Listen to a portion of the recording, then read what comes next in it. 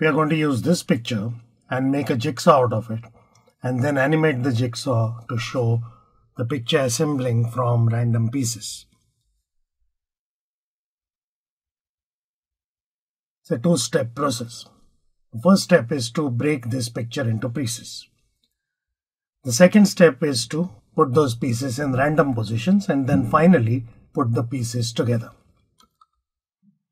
Before we do anything, make sure you make copies of the slide. So right click on the slide and then say duplicate. You can do it a couple of times just to make sure the picture is safe. Now, how do you split the picture into random pieces?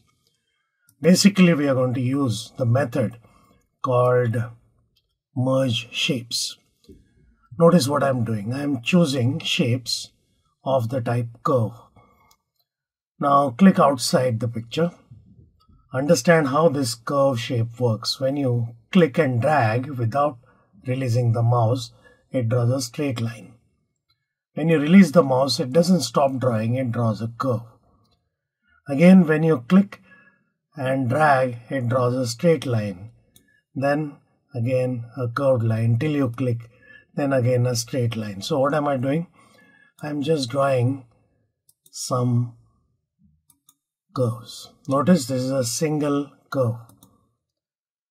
I am clicking, then I'm just going a little bit on the other side, then clicking again, then bringing it down. Now notice, right now I'm making very few shapes, but you can do a more dense version of this. Now that I've come on the outside part of the slide, I want to do the same thing horizontally. So I'm going to click somewhere here. Then I'm going to go horizontally. Click, make a small curve. Again click and then click again, make a small curve, click. How many shapes and what exact shapes you create is entirely up to you. Click, make a curve, click again, make a straight line, click another curve. Now I have finished doing this. When you finalize it, double click.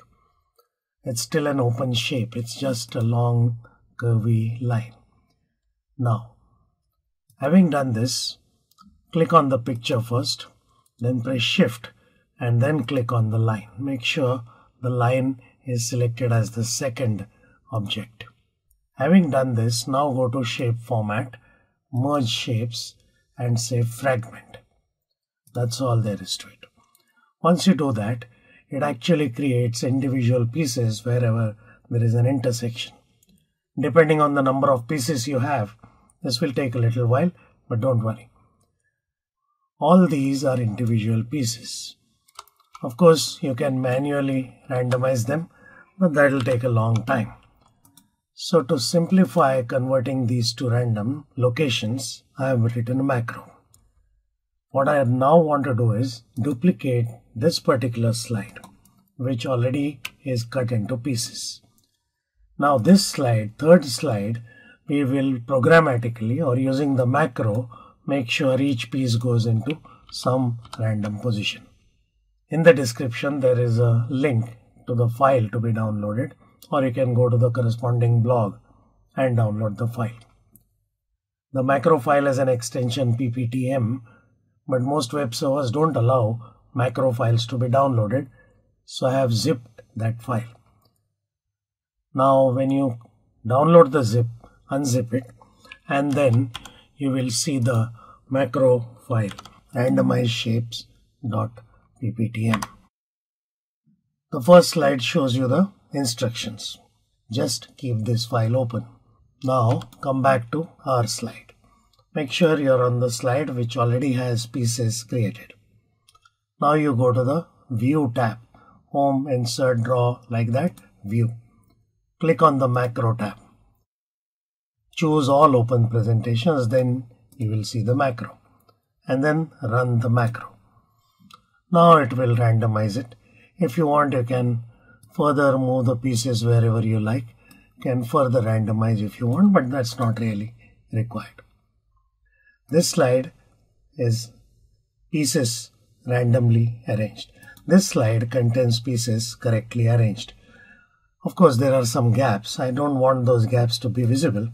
So I copy the original slide without any pieces and put it as the third slide. Now what do you have to do? Go to this slide, which has pieces arranged in the correct way. And here we will use morph. So you go to transitions and in transitions, you use morph. Morph as a transition is available only if you are using Office 365 Pro Plus version of PowerPoint. When you apply morph, it by default works for 2 seconds. Once morph is applied, we want this slide to automatically appear after a little while. So I say advance to the next slide after 1 second. Make sure this slide has no transition.